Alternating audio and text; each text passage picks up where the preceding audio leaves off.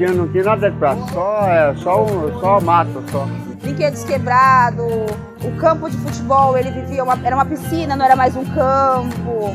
Aí a gente vinha no balanço aqui, já caiu uma ponta, e tinha que amarrar, improvisar. E quando a gente começa a fazer o sonho de tudo que a comunidade quer fazer, a gente não acredita que seja possível ser realizado. E daqui a pouco você vê uma verdadeira transformação, é super interessante.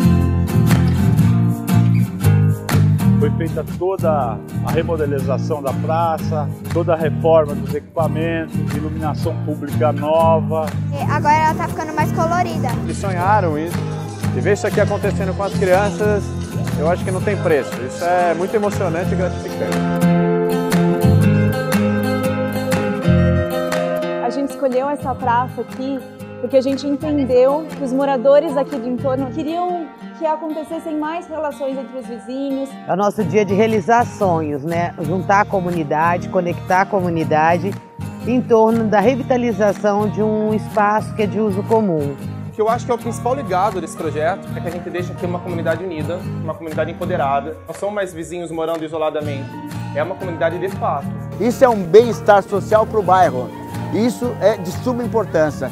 Isso faz com que a gente cresça e cresça a comunidade no geral. Eu gostaria que essas coisas tenham, tenham feito muito, muito mais em cidades como Lima e na minha cidade, no Peru.